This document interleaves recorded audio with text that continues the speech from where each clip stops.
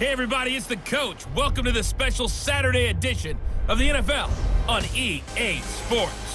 Straight ahead, Blake Bortles and the reigning AFC South champion Jacksonville Jaguars. They face off with Ryan Tannehill and the Miami Dolphins. With that, let's get down to Hard Rock Stadium in Miami. Standing by for the call, here are Brandon Gaudin and Charles Davis. Thank you, Coach. From beautiful South Florida, there's a look at Hard Rock Stadium in Miami. This crowd a few minutes ago stirred into action at the sight of their Dolphins emerging from the Hard Rock Stadium tunnels, and we are ready to go as the Dolphins get set to match up with the Jacksonville Jaguars. Brandon and Charles Davis, thrilled to be with you from the broadcast booth. And partner, before we get this thing started, what are you going to be watching? Who gets off to a fast start? In horse racing terms, they talk about catching a flyer out of the gate. Who sets the pace and makes the other team chase?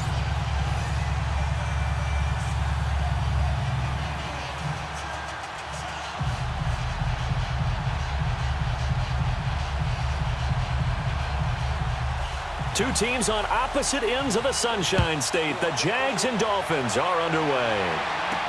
This is fielded a couple yards deep. And he'll be brought down at the 23, make it the 24-yard line. So here come the Dolphins now as they get set to take over on offense. They will be led out by their seventh-year quarterback from Texas A&M, Ryan Tannehill. Unfortunate for Ryan Tannehill as the improvement was starting to develop in the NFL. Two knee injuries in the last two seasons. The second one cost him all of 2017. Right now, if you watch the Dolphins, you believe as Ryan Tannehill goes, so do the Dolphins.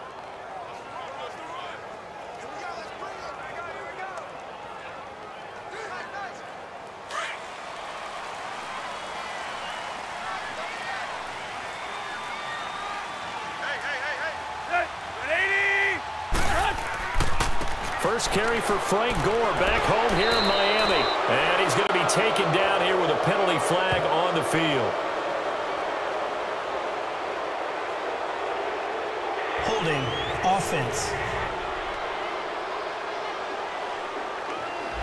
So on the big tight end, Still first down. Each and every year, we talk about very few tight ends coming into the league that are polished blockers or asked to do it a lot in college. So it's a constant struggle and a constant fight to learn how to do it without holding.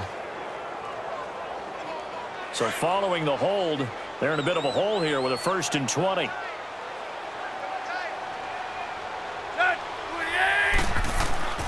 Tannehill hands to Drake. And nothing doing on his first run. Back to the line of scrimmage, and that's it. Officially no gain on the play, and it's second down. The Miami Dolphins starting lineup now, and Kenyon Drake, a guy to watch. He has the ability to affect the game in so many different ways. In the return game, bringing it back himself. Also can be a gunner on the punt coverage team and did that very well at Alabama.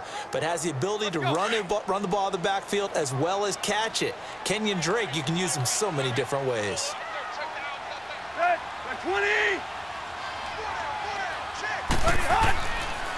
Draw play. Tannehill gives to Drake. So a nice job to break the one tackle, but not much daylight after that as he's brought down. Give him five yards on the run there, but it'll leave him with a definite third and long on the horizon. Partner, your thoughts on this D-line? I love a unit that can control the run and get after the passer. This is an all-around terrific defensive front. Hard to move the ball against them on the ground, and then when you want to throw it, look out. Here they come after the quarterback.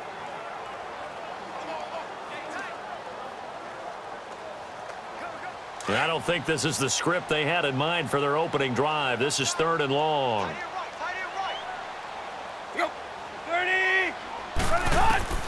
From the gun, here's Tannehill.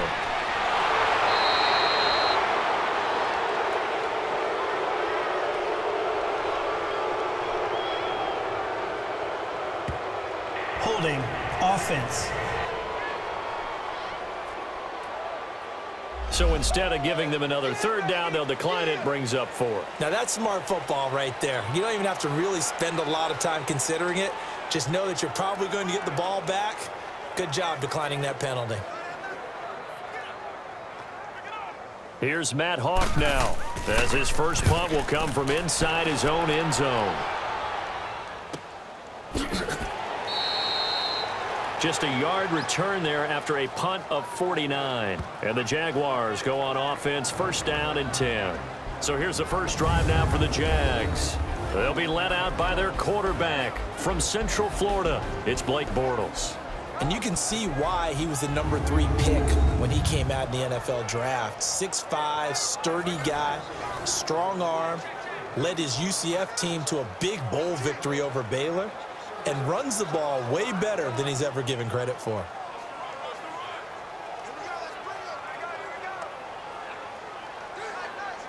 Bortles leads the Jags up first and 10 at the 40.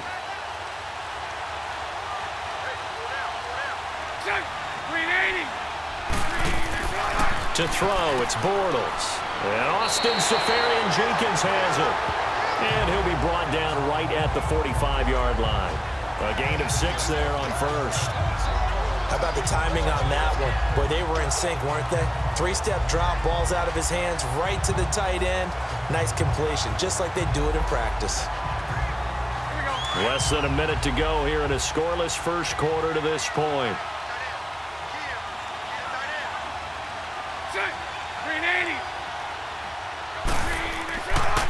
Here's Leonard Fournette, 1,000-yard rusher from a year ago. And he'll be taken down just shy of midfield after a gain of about four. Look at the starters for Jacksonville. And for the running game, got some good news and bad news this week. I'll give them the bad news. You can give them the you're good one news. of those guys, you go bad news first? No, I'm just saying you're nicer, so I'll let you give them the good news. Now, the bad news, the team's saying that Leonard Fournette likely will remain out through the Jags bye week on November 4th. Yeah, he's missed five games already, likely a six next week in London against the Eagles.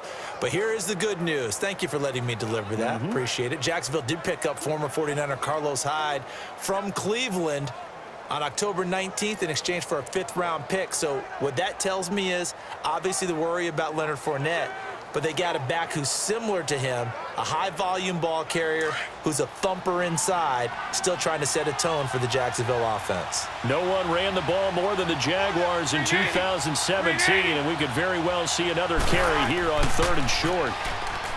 Now Bortles. Got a man over the middle, and it's complete. And he gets this inside the 35-yard line. First time they've hooked up here. Good for 17 and a first down. I think it all came together there. In-breaking route, drove it with excellent pace. Money throw right there to move the sticks.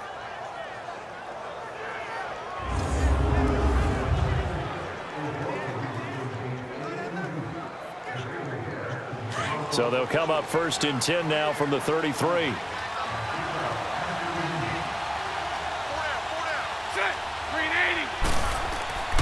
Fournette, a first down carry. And that play went nowhere. Losing yardage. It'll be back at the 36. A loss of a full three yards, and now it's second down. So not much to speak of scoring-wise in this first quarter of play. Nothing, nothing our score. And we'll be back to South Florida after this. The NFL on EA Sports is presented by Snickers. You're not you when you're hungry. Snickers satisfies. Alongside the former defensive back Charles Davis, I'm Brandon Gaudin. It's Jaguar football as we begin quarter number two, but they face a second and long to start things out.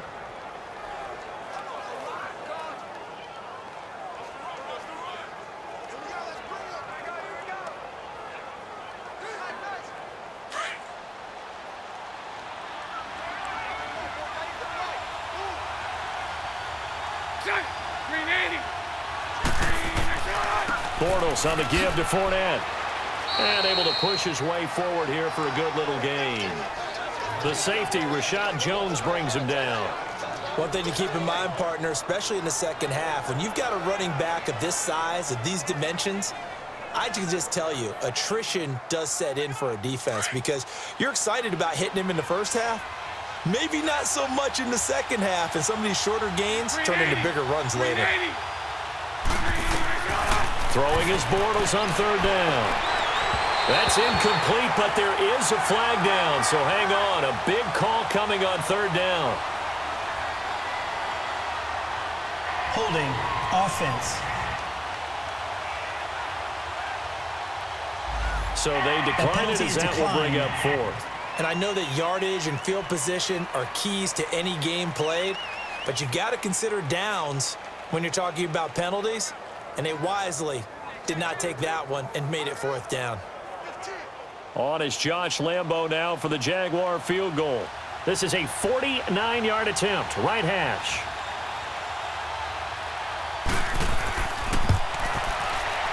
And Lambo will put this one through, and the Jaguars grab a 3-0 lead. So still no touchdowns in the first half, but we do have some action on the scoreboard with the field goal. So maybe now the mentality changes in this game because anytime you can get to the red zone and if you don't come away with six points, you feel like it's a disappointment. In a game like this one, being able to kick field goals means you're right there and then you're just looking for that big break to take you over the top.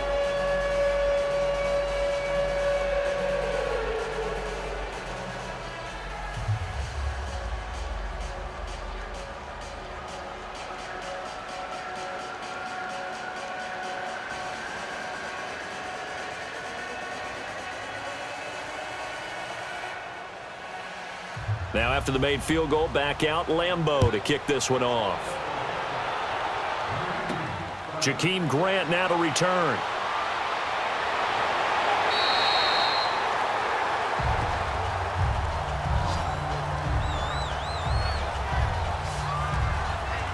Out comes the Dolphin offense now as they get set to take over here. And on the last go-around, they really couldn't get anything going. They had to punt from deep inside their own territory, which means you're going to lose the field position battle as a general rule. What they're looking for now is a little more consistency, move the ball at least a few times on offense, get a couple of first downs, and hopefully flip the field. Yeah, just something to build off of. That's what they're looking for here. Tannehill and the Dolphins break the huddle. Come up first and 10 at about the 32.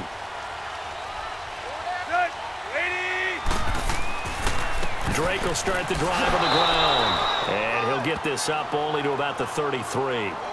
Myles Jack there to make the tackle.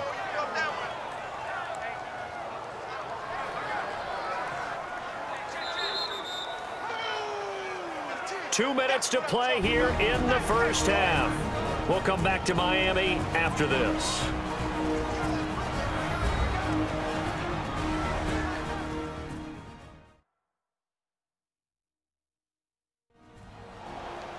We remind you that coming up at halftime, we'll take you to Orlando and Jonathan Coachman. Coach will have highlights and analysis of this first half, one that's featured no touchdowns as of yet on either side. So his job's a little bit easier for this halftime need to, report. give the, need to give the coach some highlights here. Yes, we do.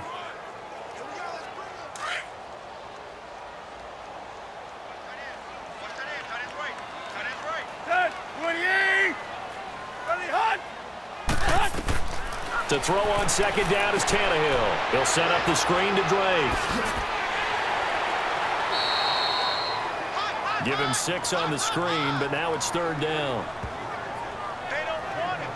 For a second there, I thought that might break big.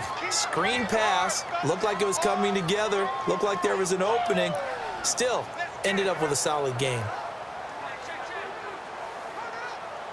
And on third down, a nickel formation here defensively.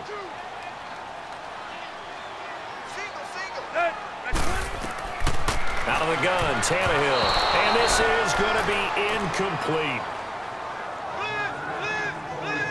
So much of this game is about leverage. We always talk about low man wins in the trenches. Well, it's like that at just about every position. And sometimes, if you lose that leverage and you're losing the battle, just jump up at the line of scrimmage and try and bat the ball away. And that's exactly what happened there. And this is away. It's a high kick, and he got all of it.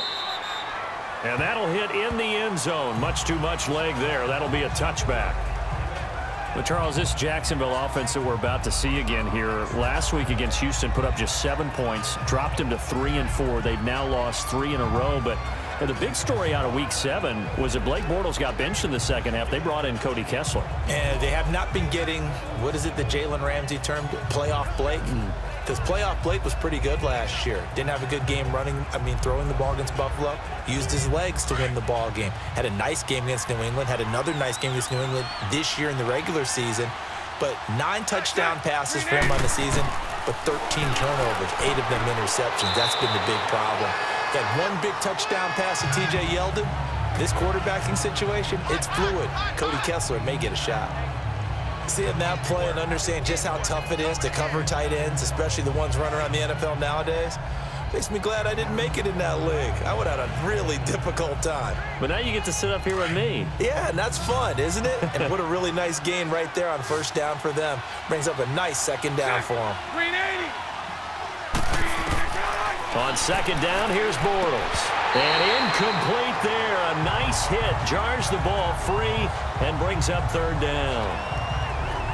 Anytime a defense can sit back in a zone like that, it tends to create a lot of congestion in the middle of the field. Makes it very hard to slot one in. Looked like I-4 at rush hour in your hometown of Orlando, Florida. An absolute mess. After the incompletion, here now, third and two. Green 80! Green 80! Shotgun now for Bortles. And he finds Seferian Jenkins. And he gets it to the 32. Good enough for a first down. Bortles to the former Jets, Seferian Jenkins for the Jags first down. And now we won't see a play on first down. We're going to get a timeout instead. As they'll stop it with just over a minute to go before halftime.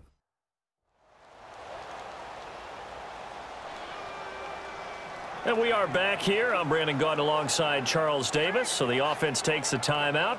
And now we're set to get going.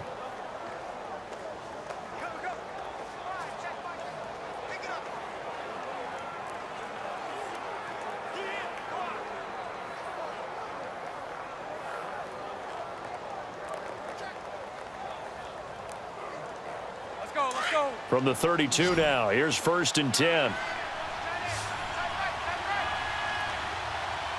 Let's. Bortles now on first down.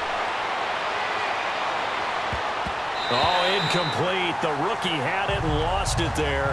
And it'll be second down. Well, CD taking a peek at some of the injuries from around the league in Week 7. We did have a few. Kwon Alexander on that Bucs defense went down with an injury.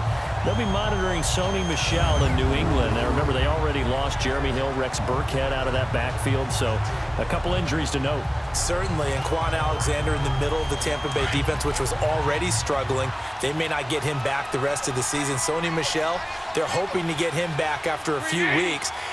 Wilson in Miami has made big plays all season long, has a hip injury. That could cost him some serious time, if not the season. LeSean McCoy, Melvin Gordon, they're hoping to get them back in the upcoming weeks. Yeah, interesting that they won without Melvin Gordon last week. That was a big win. So we're back in the offense getting set following the call of that timeout.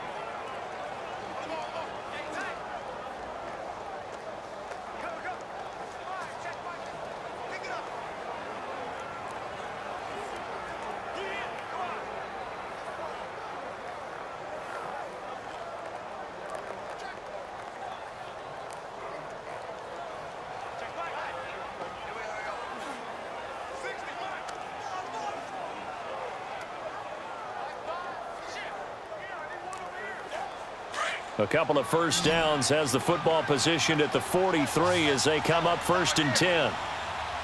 Check. Green 80. Bortles now on first down. And his throw here is incomplete. T.J. Yeldon, the one he was looking for. And that'll bring up second down. Well, we've got a second here. Let's take a peek around the league. What's coming up week eight? A couple big games as we near the halfway point of the season, Charles. I'm mainly looking at Philly and Jacksonville in London, and then New Orleans and Minnesota. That should be interesting. Yeah, you're exactly right. Philly and Jacksonville, both teams struggling right now. The Eagles have already lost four games. They lost three all of last season. Both of those teams need a win in a big way. New Orleans at Minnesota, the Saints are on a heck of a roll right now. They've won five in a row, but the Vikings quietly have won three straight and seem to be getting their footing on defense again. And how about Green Bay? They had the week off this past week. Big win over San Francisco at home on a Monday night. They now head out to face the 7-0 Rams in Los Angeles. That's going to be fun. Yeah, I'm glad you mentioned that one. That is a big one indeed. Aaron Rodgers, Todd Gurley, let's do this. Again, they'll throw with Bortles. Caught, Seferian Jenkins, right side. And they'll work this down to the 40-yard line, tackled there. First down, Jacksonville. The passing game looking sharp on this drive for the Jags. And now the passing game here in the second quarter starting to heat up a little bit. Don't you feel the rhythm starting to happen, right? You see it now. The confidence is starting to rise. I think now as a play caller, because that has happened, you lean on it a little bit more. You don't go totally away from running the football, but you do say, guess what? We can throw it. We can throw it well with a whole lot of confidence. Green 80. Green 80. On first down, Bortles. Firing quickly here, and that's complete. Now a timeout. Seven seconds left in the first half.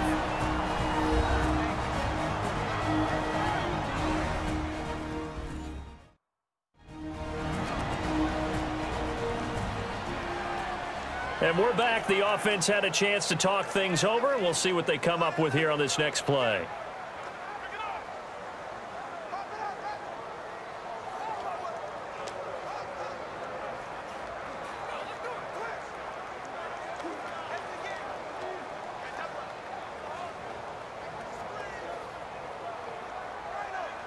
So on second down, the field goal unit is on here as they try to get three before half. He's going to need a little mustard on this one. It'll be a 51-yard attempt. And Lambo will put this one through, and that will double their lead as it's up to six. These kickers now, it used to be that a 50-plus yarder was cause for celebration. Now seemingly automatic. Yeah, isn't it funny when we prepare for a game, when you look at the backgrounds of these kickers, it's interesting, isn't it, to find out they were all-state quarterbacks, receivers, defensive backs, all-state wrestlers, right? Baseball players. We're finding athletes all along, and now they're just specialists putting it through the posts.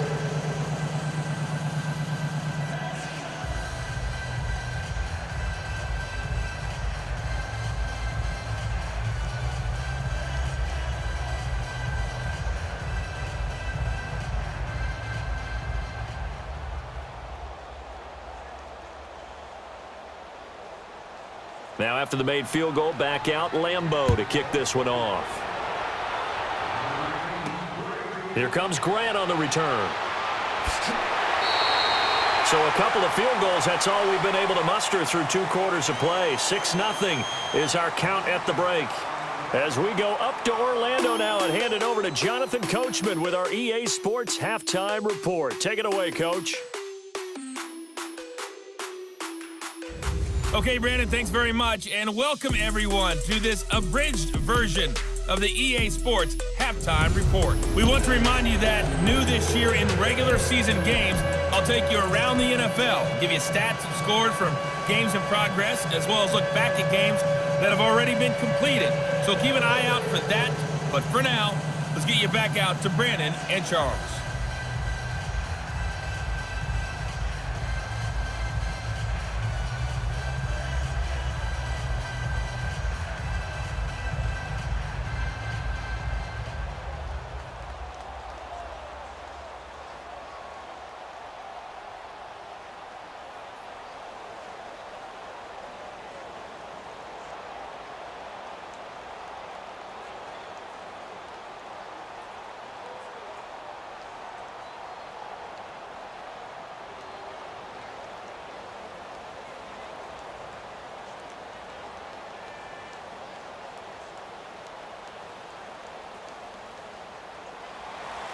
The Jaguars in possession of the lead, and they will get the football as we are underway in the second half. To return it is Corey Grant. And a nice return sets him up pretty good here at the 30-yard line. Out come the Jaguars now as they'll go on offense first here in this third quarter. They have the lead. Now they'll be looking for some separation here as we begin the third quarter. I like the way you term that because now I think they go a little bit deeper into their playbook. They like what they did in the first half. That worked okay. But in order to get the separation that you just talked about, change things up a little bit. Change your tendencies, try and hit them a little bit more with some things they didn't see in the first half. We'll see if they do just that. Bortles leads the Jags up first and 10 right at the 30. Second half beginning with a run from Fournette. And he'll lose yardage here, going down back at the 28. It's a loss of two there, bringing up second down. I like the strategy. Extra tight ends, extra beef. They want to run the football, but that means they probably want to run it inside. If you get strung out on the perimeter, you're in peril. Yeah, we saw the result, negative yardage.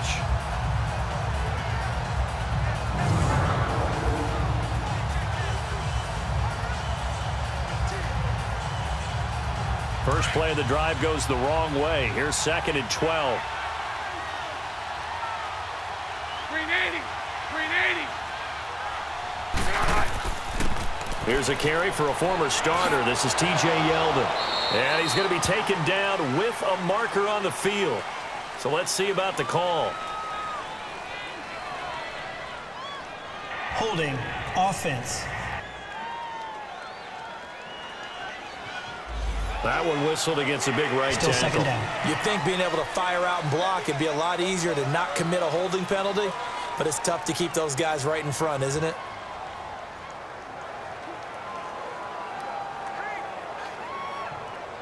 They'll come up now on a second and long after the hold.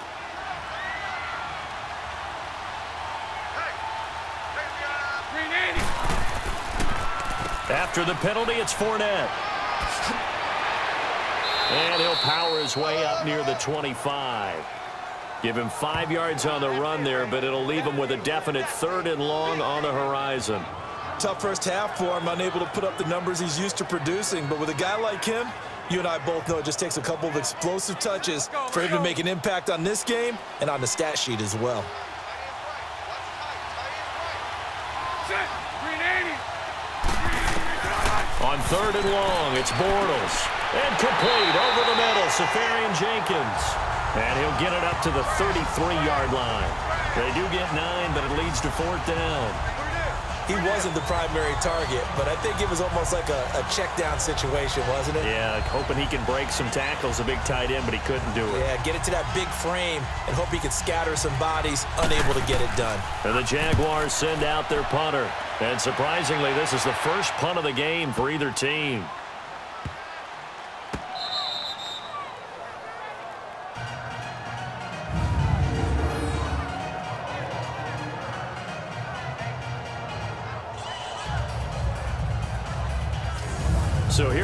Dolphins now. They get ready for their first possession of the second half. These guys had to punt last time. It has not been a very fruitful game offensively thus far.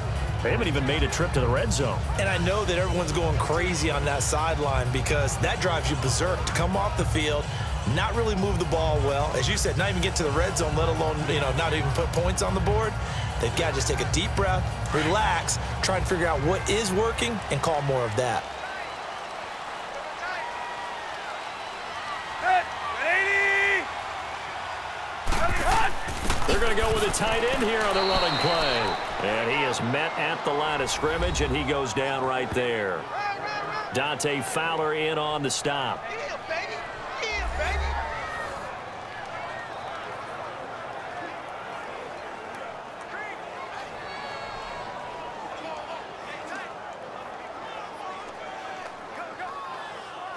The stop for no gain brings up second and 10 from the 20. Hey,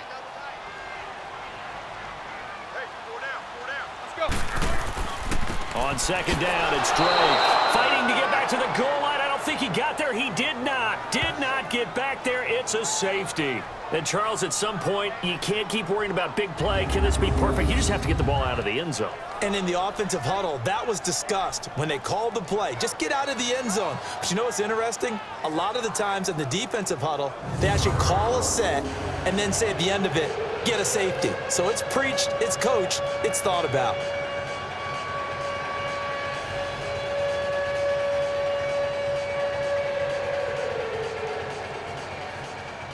So a free kick situation forthcoming from the 20 as they'll punt this one away.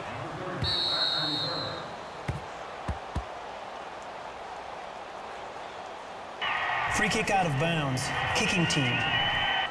So they will accept the penalty and move forward. Automatic first down.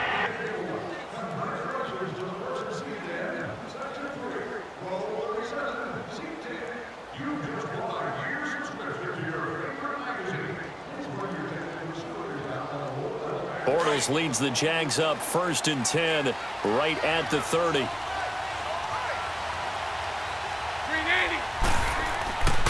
A handoff to Fournette. They find some open field here. And he'll work this one up to about the 38. Eight yards on the pickup, and now they'll have some options on second and short. Getting had a ton of success here so far, but you get the feeling that he might be on the verge of popping one. Yeah, even on that one, there was a little bit of a hole, but it closed there quickly at the end.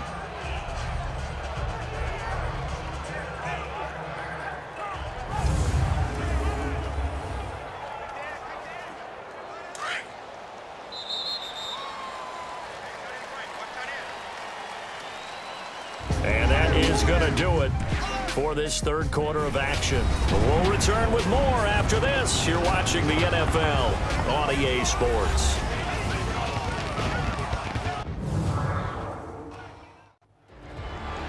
Back now in Miami. It's Jaguar football here, and they'll look to extend their lead as we begin quarter number four.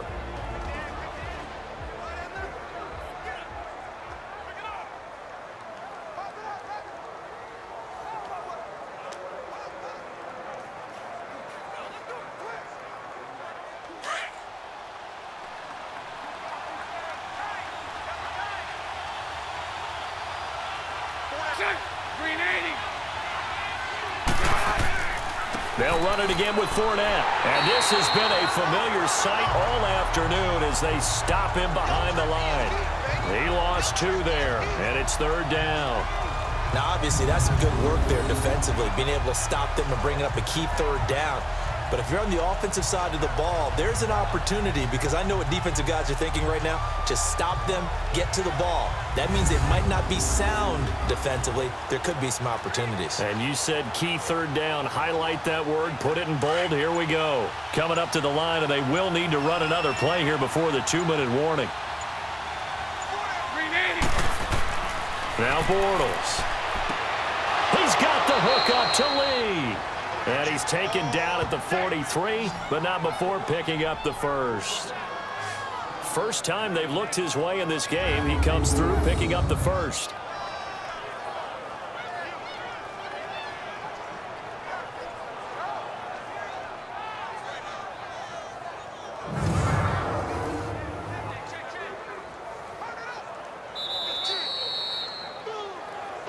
Time for a break. We're back to see what happens after this.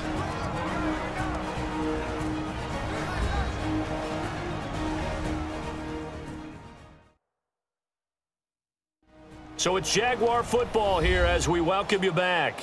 They've got a first and 10 as they look to try and finish this one off.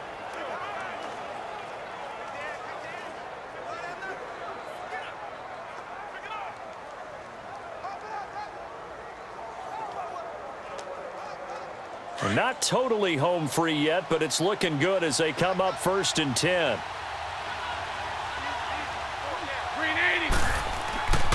Here's a give to Fournette. And he'll take this one up close to about the 45. And now we'll see a timeout used on defense as they stop it right out of the break with 157 to go in the ball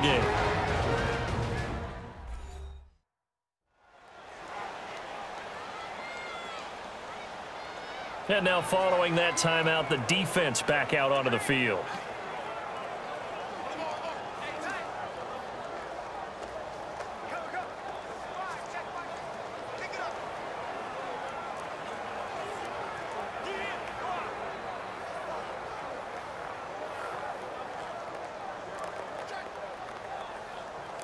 Have to imagine this will be on the ground as well as they come up second and seven.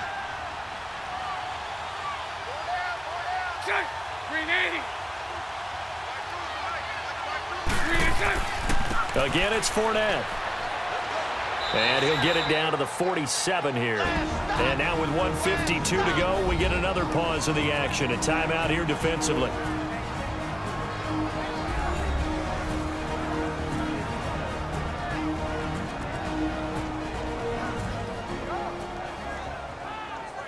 So the defense had a chance to catch their breath, and now they're back out and ready.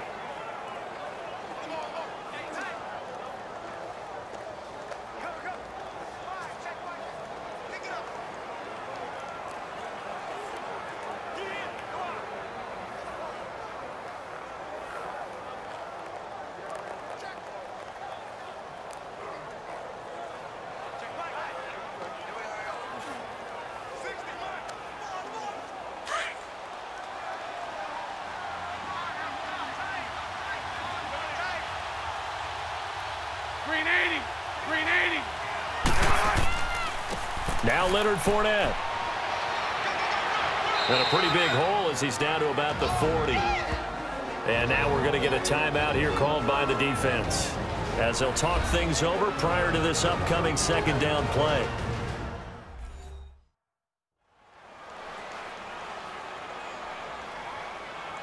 The defense, they got a little bit of a breather.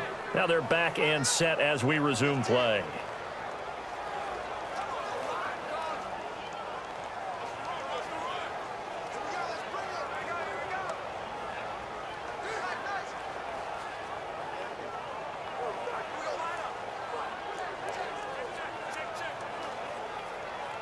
So they come up on second down. If they can get another run like we just saw, would likely put an end to this thing.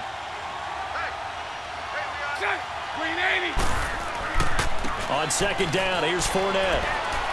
And he's going to get it down to the 33-yard line here. Seven yards there, good enough to move the sticks. I like a guy who understands the situation. I also like a guy who, who you look at him and you say, that looks like a guy who knows the coach is going to say, guess what? You drop this one, you'll be carrying around the training facility for an entire week. Maybe flashback to high school or college, carrying it around campus, right? The old gauntlet drill, right? Anyone get the ball out while he's while he's sitting in class and bring it back to the coach, he's in big trouble. And not totally home free yet, but it's looking good as they come up first and 10.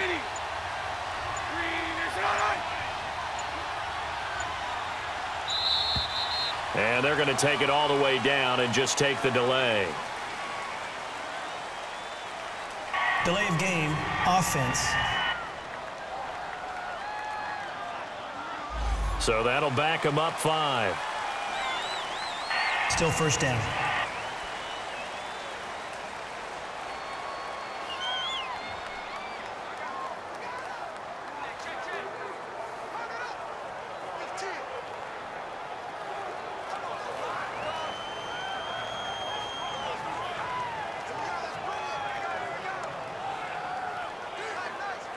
Now they need 15 yards on this series after the delay of game. First and 15.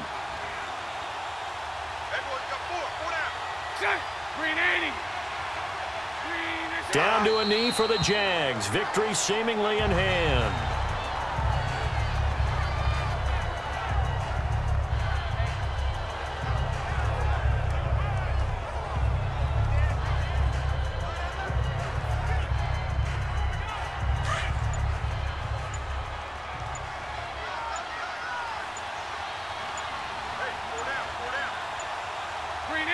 Bortles with a knee to the ground, and that should do it. Brandon, I can just tell you from experience, there's nothing like pitching a shutout on defense, but even more so when it's a tight game.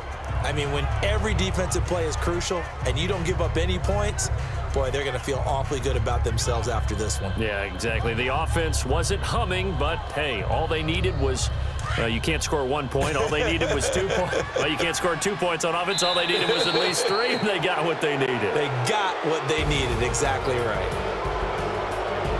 The storyline of this one, Charles, no doubt the number zero. Zilch, nada. A shutout so hard to do in the NFL. It really is. And what an accomplishment because you feel that not just on the defensive side, but as a full team. There's a lot of pride that goes into shutting out an opponent. How about that zero on the scoreboard for them, going along with those zeros in the time column, too.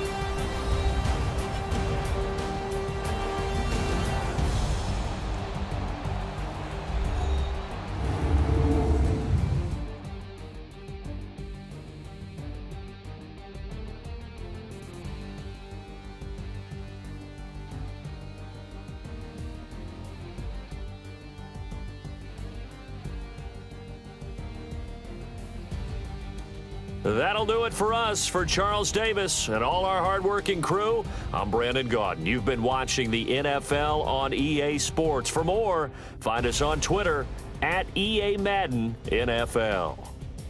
And with that, we sign off from Miami.